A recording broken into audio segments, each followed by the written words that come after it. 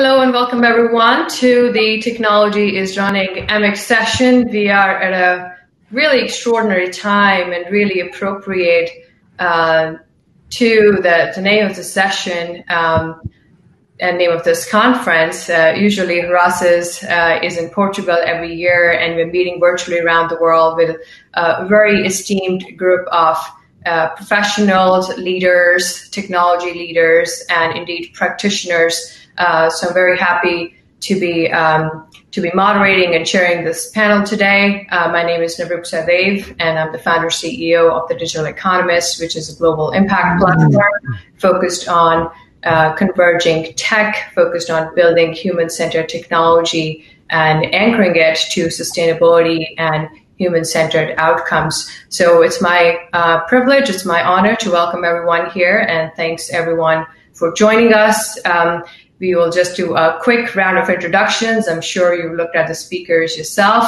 Um, so we'll just take a minute and uh, please, everyone, introduce yourself, uh, starting with Dave. Correct.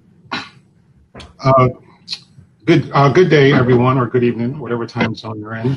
Uh, my name is uh, David David Smith. I'm president and CEO of ZanstraSat LLC. We're a satellite communications company we provide voice data and streaming video via uh, aeronautical, land mobile, and maritime. Um, and um, we work in several different uh, spheres. We work in government, commercial, and international market. And I just want to introduce myself. We provide 24/7 end-to-end solutions and keep you connected real, uh, real, real time, any place in the world. Thank you. Thank you, David. Uh, maybe we'll do the, the next David right after that. Yeah, well, I'm David Bruemmer, and I'm the CEO and founder of a company called Weightless. And Weightless is focused on providing mobility solutions, usually deployed in a smart city context. But what it really boils down to is we've created next generation GPS. And we believe that by enhancing GPS and limiting error, it can allow many different things to be more accurate, efficient, and reliable and safe. So examples are connected vehicles, autonomous driving, door-to-door robotic delivery, uh, but even more basic things like um, uh, ride sharing. So we we think it's a big benefit, and contact tracing is sort of the latest uh, use case that could be you know uh, be enhanced by having better positioning. Great, thank you, David. Um, Edson, would you like to go next? Good morning, good afternoon, good evening. My name is Edson Prestes. I'm professor in the Federal University of Rio Grande do Sul in Brazil. I've been working for more than 20 years in robotics, artificial intelligence, humanitarian application, and recently in ethics and human rights. I'm member in the UN Secretary General High Level Panel on Digital Cooperation. I'm also a member of the ad hoc group, uh, UNESCO ad hoc group for the recommendation of artificial intelligence ethics of artificial intelligence. Thank you so much. Thank you, Edson. Good to have you here. Vivian? Hi, I'm Vivian Guo. I'm the president of the uh, Jacksonville Artificial Intelligence Group. Our this is a not-for-profit uh, group, and our goal is to bring and bridge um, outside business companies and our local talents in the AI arena right now due to the uh, pandemic, uh, our basically expansion plan is put on hold. So right now we are hold uh, basically hold uh, events to uh, increase knowledge and awareness of AI uh, in Jacksonville area. Thank you. Great, thank you, Vivian. Um, Dan. Hi, everybody. my name is Dan Mapes. I'm the founder and president of Verses Io. Uh, we're an artificial intelligence company based in California. Uh, I'm also the founder of the uh, Spatial Web Foundation and the Spatial Web Protocol. It's a new layer to the internet. Uh, the original internet is a web of pages, uh, but as David Bruemmer just pointed out on the panel here, I mean, now smart cities are the next big thing. Uh, we need an interoperability layer that links everything together in smart cities and between cities and around the world. And so we have that now with the uh, with the spatial web protocol. Great, thank you, Dan. Uh, so exciting, super interesting, and I think one of the things to notice about this panel is that it covers um, practitioners working in the industry, um, academic scholars, but also works uh, working closely with uh, with policy. Um, Edson, referring to you here, and, and, also David Smith. So it's it's super exciting and, and so timely at this point to be discussing this. And you know, we are facing a um, a quadruple crisis, perhaps, with uh, the health crisis with COVID 19, an economic crisis uh, with a recession that we don't know when it's going to end, um, and then a social crisis, of course, uh, that has. Um, that has, you know, uh, ensued as a result of that, uh, starting with uh, racial inequality and, and injustice, um, but also now more than any other time, um, the climate crisis is, is here and now, right? Um, it's interesting because 2020 marks the 75th anniversary of the United Nations General Assembly, and the Secretary General just gave the opening remarks for, for this conference as well. Um, and 50th anniversary of the World Economic Forum, uh, another anniversary for the Earth Year, and so on and so forth. So I think in the community there was always a, a sense of 2020 being a very important year. And uh, in, in, in, that sense, it is a turning point uh, with a tragic set of uh, events leading up to it. Uh, but I think the reason why we've gathered here today, of course, is to discuss what that uh, turning point uh, you know mean and might mean in in moving into the future right? And what does it look like again from a technological point of view? Uh, so, kind of my question for for the panelists here, first and foremost, um, I think uh, Dan would be great to start with yourself. Um, as to what is the role of technology in a world that is grappling with a many-fold crisis at the same time. Sure. Well, fundamentally, we have 8 billion people on the planet, headed toward 10 billion. We got 2 billion more coming in the next 25 years. So we have to use technology uh, to manage the uh, situations, uh, whether that's making our cities smarter and more sustainable and, and uh, serving people more effectively, uh, whether it's using artificial intelligence and blockchains and cryptocurrencies. These are just things that we, we're forced to use because we have to grapple with all of these issues you just pointed out, or we're going to have a terrible dystopia. So um, we, we can't really be afraid of the technology. We have to engage it, uh, use it wisely, uh, find out where the weaknesses are and mitigate those and uh, really play to their strengths. If we do this right, uh, we're going to have something that looks like Star Trek in 2100. If we do it wrong, it's going to look like something like Blade Runner. Right on. Um, great. Um, I'll invite the other panelists to jump in here. I know everybody has um, a very strong set of background working and grappling with this issue on what the responsible build out of tech should look like. Um, and so I'll invite the panelists to jump in. Okay, um, David Smith, ZanstraSat. Um, on satellite on satellite technology for the current situation that we're in, we're facing. One of the things that you'll see happening, and probably all of you have experienced, um, when your network is not working or it's running slow or it goes down, because a lot of times it's overloaded with so many users and with satellite technology and uh, you know with ZanstraSat, we give you the ability to keep you connected 24/7. So putting an infrastructure of satellite into different regions will allow you to not only have you know bandwidth and and and and being able to stay connected, it will also give you the ability to do surveillance, track um, facial recognition over satellite, banking transactions over the satellite. Um, these are some of the things that um, satellite technology can do, and it's, and also tracking certain situations, certain certain situations, remote areas when, say, COVID nineteen, you have to go in and do testings, and the medical uh, community have to go in and basically um, in areas that they don't have communication, they can they can um, gather the data from satellite technology and still be able to uh, uh, come up with the same results if they were back in, in, in, a, in a medical facility a hospital, that sort of nature. So in satellite and in this current situation, staying connected is is the key. Um, in, in in whether you're traveling by air, which um, our company, you know, you're on, you're on by air, you want to stay connected, or on land or on, on maritime, you're out at the ocean or whatever. This is what satellite technology do. We and so um, machine to machine, artificial intelligence, artificial intelligence. As I connect in with them, they have another pipe they, they, that they can, um, you know, if they need to use data, they can use that data, and that's what satellite technology is able to do. Okay. Thank you. Yeah, while taking uh, I'm Vivian Guo, and I would like to uh, just uh, bring up uh, security issues. While the uh, during the pandemic, um, touchless transaction is is inevitable and is welcome. However, um, there's we also need to pay attention to the security issues. For example, the QR code.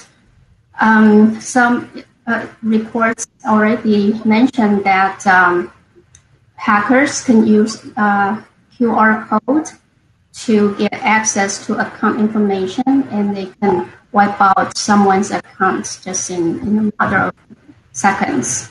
And uh, I just uh, came I came across from um, with the products and uh, from Mobile Iron. They are um, offering zero sign on. Basically, it's a step up from single sign on with passport, uh, uh, I'm sorry, password uh, throughout the platform. But now they want to ditch the password part. The, um, the technology also utilizes QR. However, as I mentioned, it also has some drawbacks with the uh, hacking the QR code. Apparently, it's not a very difficult thing to do or redirect uh, with some malicious codes. So when we are working on our, te- our uh, technology, I think we should, uh, also need to keep in mind uh, the the other side of the uh, technology.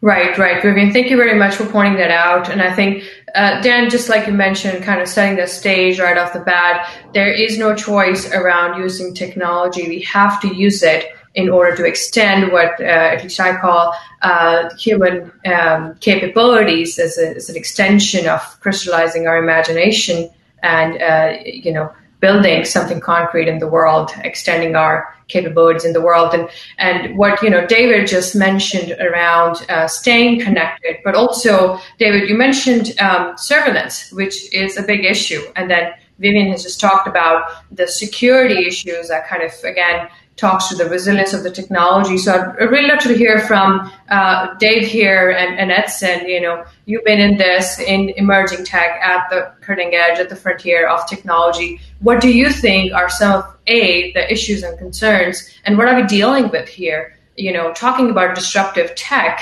Um, let's unpack that a little bit for our audience here. Sure, I'm happy to, to go next. So I'm David Bruemmer. I've been doing self-driving cars for 23 years uh, created a brain for a lot of different military robots and robots that had to do uh, autonomous operations in really difficult, dangerous environments. And I'll tell you, I think you know one of the big choices is whether humans end up adapting to the technology or whether the technology adapts to the humans. So I've really you know kind of taken a human-centered design approach, which actually I believe is better from an engineering perspective, because the human is really a critical part of the technology solution. And this is true not only for robotics, but it's true for how we structure our roads, how we structure things like ride sharing. Um, I think there's been really for two decades kind of an almost ridiculous uh, belief that if we just make robots autonomous, we make cars autonomous, that this will sort of solve our problems. But that is not the case at all, and it hasn't been for two decades. In fact, nothing is more surprising to me than all these really kind of supposedly smart investors who keep pouring billions of dollars into autonomous robots that are not at all what people want. And one of the points I've made is, you know, if you want a smart car, you should really have a smart ecosystem first. No matter how smart your car is, if you're trying to get through the Lincoln Tunnel and it's filled with cars, you can't think your way through that, and neither can an AI system. So one of the big things I've been really pushing for is a resurgence of swarm intelligence and really all around us in biology we see this right whether it's how uh, ants work, how, how bees work, but also how we invest in the stock market, how we play soccer, right? We are also swarm agents.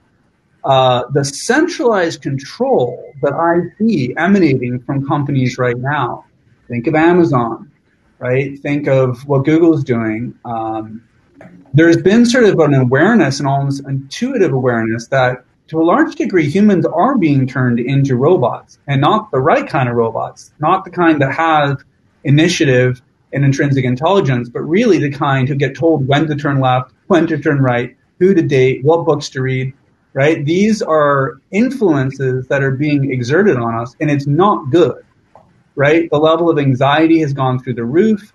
Uh, there's a lot of confusion about what technology can and can't do for us. And my belief is that we need to distribute the control. And so, really, in the connected vehicle systems that we've been driving, the control is everywhere and nowhere, which is somewhat of a paradox, but it's literally an engineering reality, right? We don't want the critical notion of vehicles to depend on the cloud. That is wrong. It's wrong from an engineering perspective. It's also just plain wrong from a philosophical perspective. So a lot of the influence which is being exerted right now as technology, where we're being told this is what you need, I think we need to stand against that and say, no, thank you. We do not want cloud-based control over our lives. We want, yes, we want individual intrinsic intelligence. Yes, we want AI. All that's good. But we also want to focus on, for cars, I'd say the space between cars. But more universally, we, we want to focus on peer to peer interaction between humans, right? And that's the key. Right, right, right. Thank you for mentioning that. In fact, uh, Dave, uh, very interesting. And I think that is a perspective that is still an outlier in the space for many of us who are from a complexity science, network science perspective, understand uh, technology and most of our peers here not having a single point of failure, right? Distributed systems are not new. And, and all of this comes from biological realities of the planet. So we're tying it back to where complexity, swarm behavior comes from. Uh, thank you very much for, for bringing that perspective here. Uh, Edson, we haven't heard from you yet. Uh, and of course, you're involved in a number of initiatives around the world that are at the, you know, defining um, defining places, uh, including Triple E, IEEE. Uh, so it'd be great to hear from you what you think are the biggest concerns right now. How do we, um, you know, uh, tame the technology that's running Amok? Uh, that is very quite uh, quite interesting uh, discussion and also question because I'm very enthusiastic with technology. I'm coming from the robotics so I love to see the robots moving, flying, and so on. Uh, I, yeah, I, I, wrote some papers about how robotics artificial intelligence can attain the Sustainable De- Development Goals, uh, UN SDGs. Uh, but also, uh, I understand that this kind of technology can also put a lot of risk, undermine our rights as humans we can see a proliferation of misuse of technology those days. Like uh, one of uh, uh, most known problems is related to the violation of our privacy, but you can see it also technology making the human relationship less human, so objectifying human relationships. That's the reason why you have a proliferation of hate speech. We have the technology uh, with huge potential to degrade the environment. You have technology that you decide uh, who should uh, have a medical assistance, assistance or not. So that's the reason why I'm very involved with the, with the ethics in human rights, because uh, as a technology, I never realized the social impact of technology on human lives.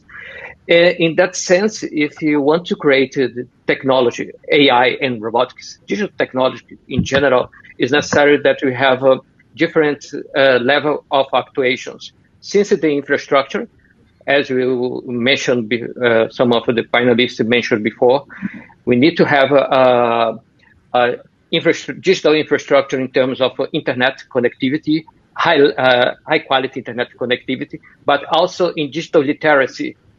Otherwise, the people cannot reap the benefits of the digital domain. But we need also to create some regulations, soft laws in terms of standards, certification, and also in terms of hard regulations. I believe we'll need soft regulation, uh, hard regulation, regulations. We have also collaboration inside the state and also outside the state because technology has not borders. So sometimes we have some problem that uh, is started in the country that will affect another country. So it's necessary to have a, a collaboration across uh, uh, states. That's the reason why I'm, I'm very happy in see in the UN 750 declaration uh, a paragraph where the member states reaffirmed the commitment to reinforce the cooperation in the digital sphere. So mm-hmm. if you want to create uh, responsible technology, it's necessary that you, you see all the ecosystem, not only from the technical point of view, but anthropological point of view, social point of view. We need to be engaged with government, civil society, private companies, and, and non-governmental uh, organization. So we have a huge challenge because it's not easy to establish cooperation those days. We have a erosion of trust. Right, right, right. One of our partner organizations, uh, Martin Weinstein, who leads the Yale Open Lab, mentioned collaboration and, and then, uh, you know, partners there with yourself as well.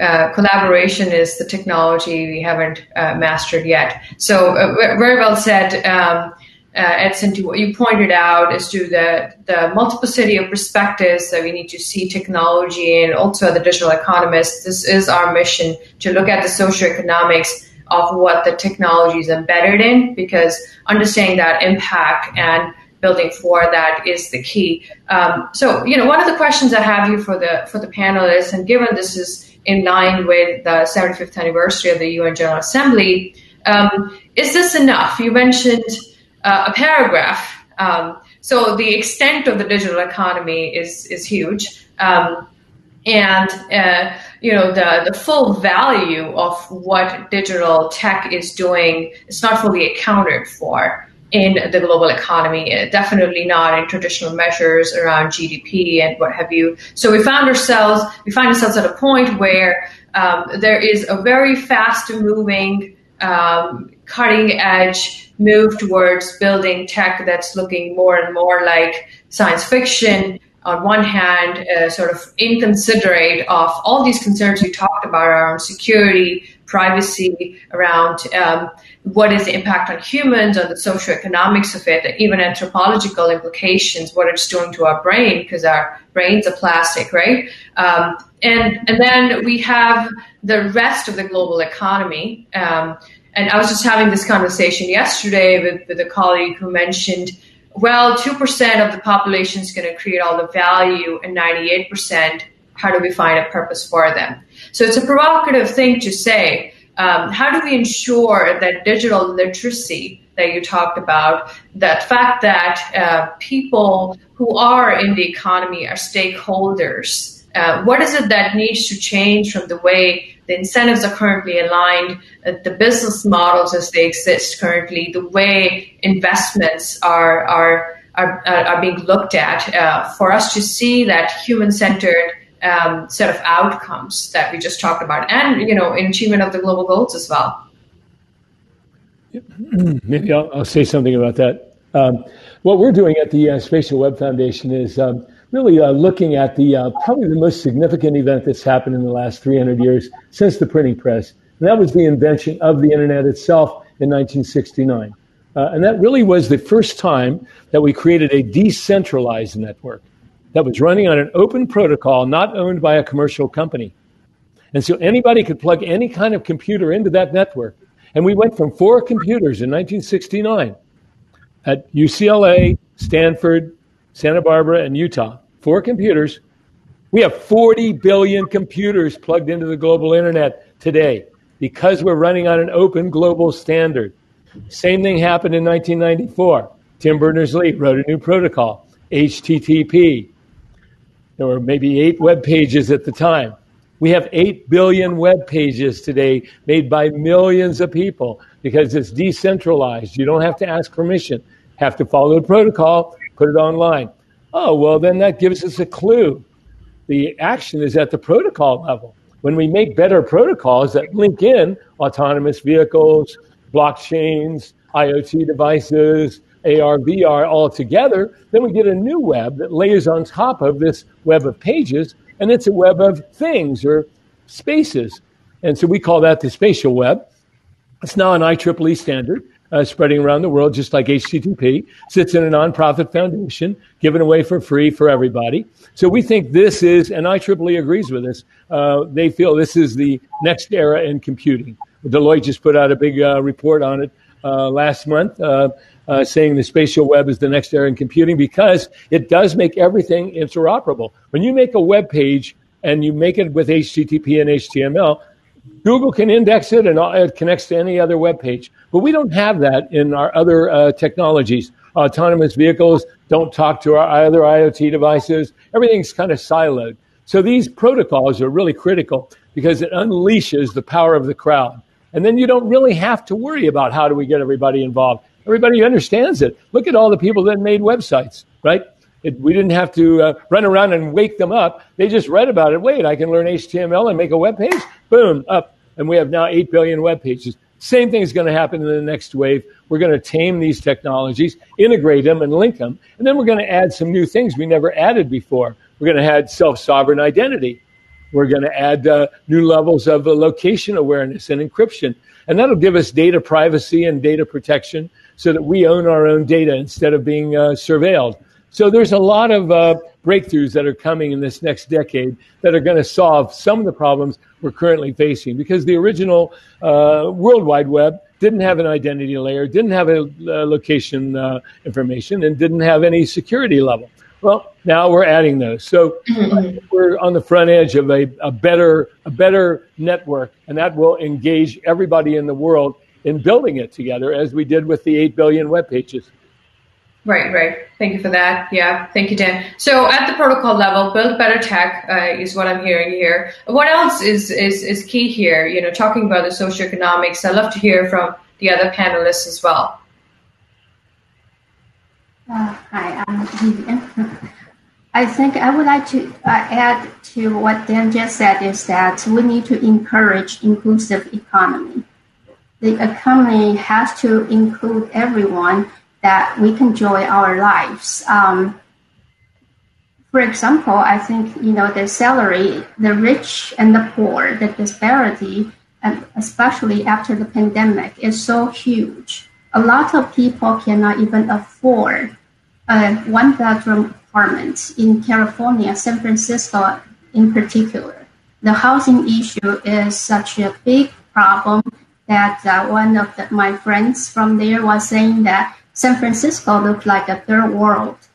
And I actually saw one report, a documentary from Deutsche Welle, uh, made by Germans, and uh, it, it, was uh, very hard for me to see some people, working people, working poor, lives in a van. And for that, I think next um, talk, I think we should be open up uh, the uh, salary, the compensation has to be put on the table, not just $15 minimum wage, because like Amazon did, they raised the minimum wage to $15. However, they cut other benefits. So they are actually, the workers at Amazon actually get um, less than what they got before they raised the, uh, the wage to $15 per hour. Mm-hmm. So technology workers in particular, I think what you're you're alluding to here, Vivian, and the economic inequality and disparity that's increasing. Kind of, I think you raised a very important topic where what it is uh, is focusing on is probably the notion of value over and beyond just just money, but also value, exactly. right? Um, mm-hmm. How you actually measure uh, what you get in terms of the goods and services. Uh, so, it's and you mentioned a bunch of interesting things there. Um, I'm, you know, I'm really curious to hear, and of course, IEEE is at the cutting edge of a lot of the global um, industry regulations and standards. Um, what is it that we need to be doing currently um, to counter some of this surveillance and, and, and, and David, I'll come back to you on that um, with satellite technology. What is it that we need to do as we speak to ensure that uh, we're building technology that is privacy preserving and not encroaching upon individual uh, rights, right? Um, and, and yet solves a purpose because we need that data in order to make informed decisions. Yeah, so on the positioning side, you know, GPS was a really important technology for helping us sort of orchestrate our world and increase efficiency. And I think it is really important that just like the internet, what Dan was talking about, GPS was created by government. It was created in a way where it was accessible to everyone and it's scalable. And, and I do think that that's an interesting model. As we look at how to enhance that GPS, I think it's important to keep this concept of public positioning even though we don't usually think of it that way, there are alternatives, right? Where people basically get efficiency and safety and uh, other benefits based on how much money they they put into the system. So that's one of the things that has to be looked at. Um, certainly, we're pushing for uh, enhanced GPS in a way that does indeed give people ownership of their own position data, and I think this is really critical. And so to be clear, there are some countries, right, who when they look at our technology, they immediately want to use it for enforcement. They want to use it for tracking, um, and they want to use it to exert influence, right? And and very specifically, they want what in a mathematical format we would call a time difference of arrival approach, which essentially means that the infrastructure is calculating your position. And if you're lucky, it'll tell you, right? The exact inverse of that is what we're doing, which is where your device calculates its position and you do what you want with that data. And so it is not an exaggeration to say this is literally one of the most important sort of moments in time for humanity, right? From this exact fork in the road, I can see two completely different civilizations emerging, right? And, and I don't think that's dramatic. I don't think that we understood when we invented GPS how much of an impact that would have on business, on military, on energy. Um, and hopefully now we do. But imagine if we really have the ability to track people's location to centimeters, indoors and outdoors, uh, and to know their exact orientation, who they looked at, exactly what they were pointed out when they took a picture. Uh, these are things that have never been possible before. And so there's going to be a big change coming. And in some ways, it has to happen we can't really do effective scalable contact tracing, for instance, without this kind of positioning. We can't even really turn a scooter off if it goes, you know, onto the sidewalk. Uh, this is one thing that many, many cities have asked us to do, and we have started doing it. Um, but it's it's amazing, right? Because it, in many of these applications, really the difference between life or death is 10 centimeters. So so there is a reason to have this kind of positioning. I just want to make sure it's done in the right way. And I think those are choices that have to be made right now. Right, right, right. David, uh, David Smith, curious to hear what your take on this is. Well, um, the position um, on security surveillance through satellite um, involves a lot of uh, different scenarios. And one of the scenarios I worked on was in Morocco. Um, they were um, the, the prison system was over over over um, overpopulated, and some of the people that had means, um, they um, wanted to put them on um, house arrest. And what we had proposed, and they came to us, was a solution that could, you know, have them on ankle bracelets and track them via satellite. Uh, any place that they travel where they came in and report it reported back to the, the main network. Um, and so for safety and security um, in areas that they don't have the, the infrastructure in place. Um, and so we put together that, that, that, um, that solution for them um, to basically track all these uh, different types of uh, inmates um, that have been released from prison because of the over, overpopulation of the prison system. And also in, in Riyadh over in Saudi, um, the problem they had with the terrorist piece was coming across the border and they don't have the, the network bandwidth to basically track the border. So So that's when satellite came into play, and we could basically do facial recognition, send a mission critical data that's back to your mobile phone via satellite. And these are some of the things because when we're in this situation with um, the way our uh, society, security is always an issue. Um, if you really look at it, a lot of different transactions frauds has been way up over over the over the um, you know over, over the web, and so we have to be able to track track people that are in in that are behind this and be able to send the data back mission critical at real time as quickly as possible. And that's something that satellite technology can do. It's all of a matter of what is the mm-hmm. problem, what is the problem, and how we customize the satellite solution for that situation. And every and every scenario is different. Morocco might uh, be um, Morocco um, might be um, dealing with this issue. Saudi might be dealing with this issue.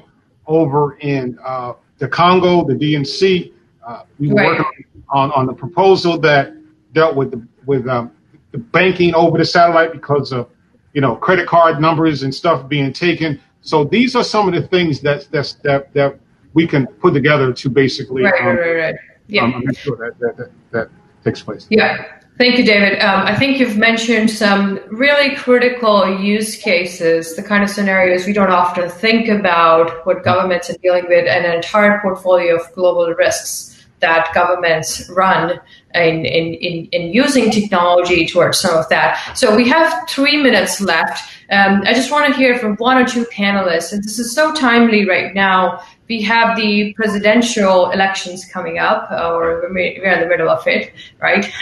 next week, uh, next month, uh, and we'll know uh, kind of where the world's going to go, if that would be fair to say. Um, and you know, obviously, 2016 was this big year when the downside of this huge experiment of you know the global reach of digital tech uh, unfolded. And we saw what you've not seen before. And, and, and something that's unprecedented where you have technology that's not properly regulated, uh, where the socioeconomic, anthropological implications are not understood. It's the first time in the world that we are uh, running this experiment at this scale.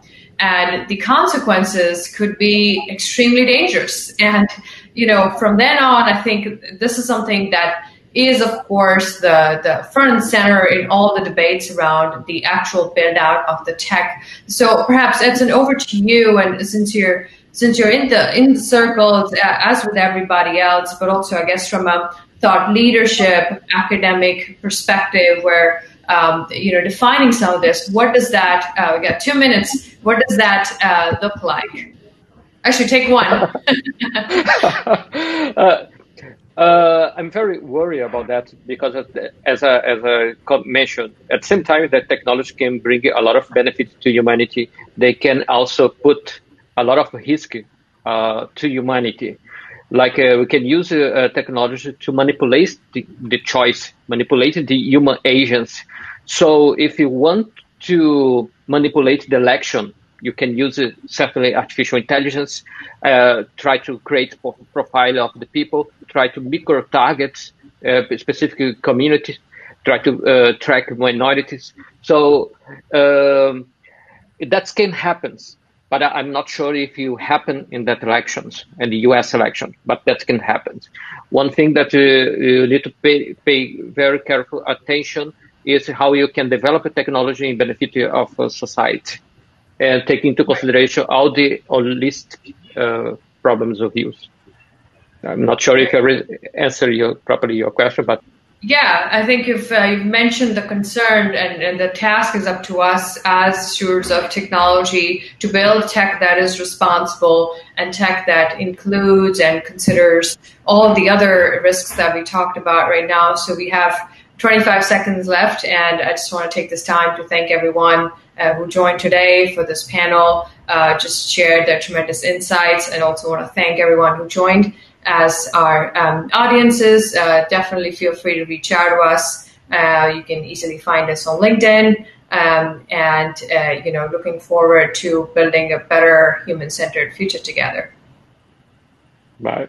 Thank you. Bye. Thank you. Thank you. Bye. Thank you, hosting. Thanks. Thank you so much. My Alrighty. pleasure. Thank you. Bye. Bye. Awesome. Thanks, everyone. I think the recording um, should be okay for now, and um, I will be in touch with all of you. Have We should, uh, we, should, we should all we should all link up too uh, on LinkedIn and uh, share share what we're doing. And uh, I know uh, certainly David Bruemmer, uh, you and I should definitely talk, and uh, uh, I think Edson as well. And uh, I'd like to hear more what you're doing, David Smith, and uh, same with Vicky. So I think it'd be great if we uh, made made a kind of a little uh, a communication network among ourselves. Okay. Sounds good. We are great pleasure. Absolutely. That sounds great, guys. Uh, Thank you. Let's Thank you, make that guys. happen. Thank Thank you. Thank you, Thank you. everyone. Thank you. Have a good rest of your day. Thanks, everyone. Bye. Bye. Bye.